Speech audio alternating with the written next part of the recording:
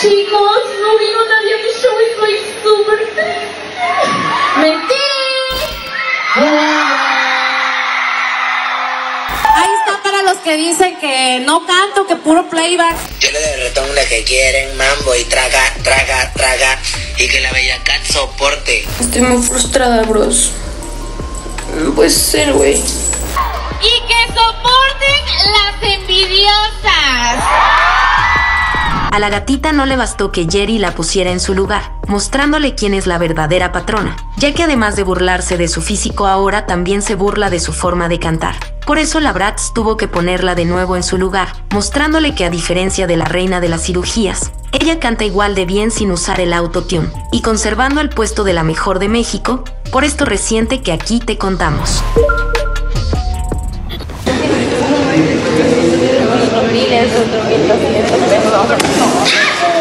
Luego de la polémica de estas dos famosas mexicanas y sus colaboraciones con el cantante J Balvin, ambas tuvieron presentaciones en vivo, y cada una sacó a relucir su talento y su particular forma de conectar con su público, no sin antes dejar algunas indirectas la una hacia la otra. Así como hablan de nosotros, así nos la pelan. Y cada que escriban Jerry, Jerry me la pela. Así que ahí que ponen Jerry, Jerry me la pela.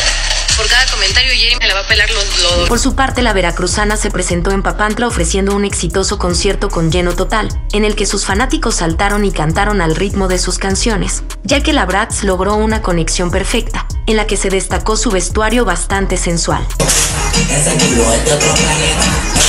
Con una paleta. Cuando tú te la tragas se mira cool, mami, dale pum pum, mueve ese pum. Sin duda un espectáculo donde Jerry disfrutó del cariño de sus fanáticos, pero donde también aprovechó para lanzarle algunas indirectas a su rival, diciendo que las envidiosas debían soportar su éxito, e incluso cantando a capela para demostrar que a diferencia de Bella Cat, ella sí canta, incitando a todos para que etiquetaran a la gatita.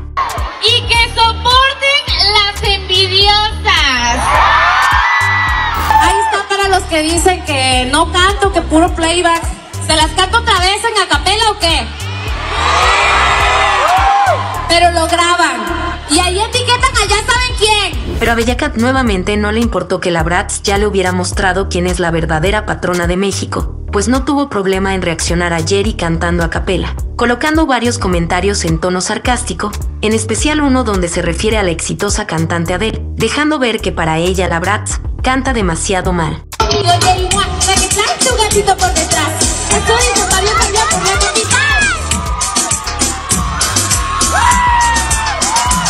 Y vemos que Bella Cat comentó, ja ja ja, yo intentando cantar una rola de la reina de Bella Cat sería esa. El mismo día la gatita también se presentó en una exclusiva discoteca de Ciudad de México, ofreciendo un espectáculo muy candente y aprovechando para lanzar su nuevo sencillo Puchaina, un sencillo que para muchos no se compara con ninguno de Jerry, ya que durante todo el tema la gatita dice casi las mismas palabras.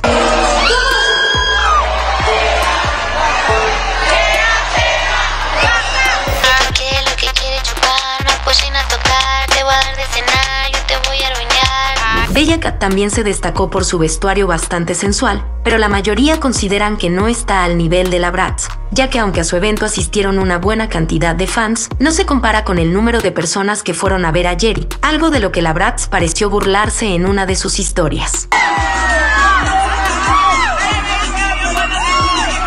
Chicos, no nadie mi show y soy súper triste.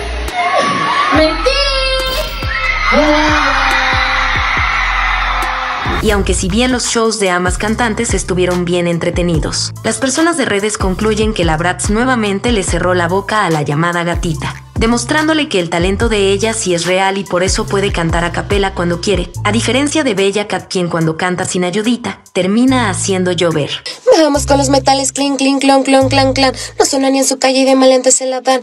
Más que me tiren, nunca me van a pagar. Aunque mi flow, nunca me van a llegar. Pero la Bratz no solo le demostró a la gatita quién es la que canta mejor de las dos, sino que también quiso ponerle la cereza al pastel en este nuevo round, compartiendo las imágenes de la grabación del videoclip de una nueva canción. Donde comparte escena con varias reconocidas influencers, entre ellas la exitosa TikToker Melissa Navarro, quien dijo sentirse feliz de haber participado con Jerry, elogiando la belleza de la veracruzana, además de su inteligencia y porque siempre tiene una buena actitud.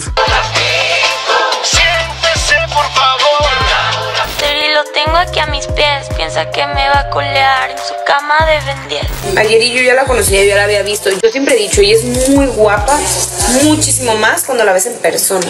A pesar de que ha, ha tenido trabajo y no duerme, o sea, ella siempre anda con toda la mejor actitud.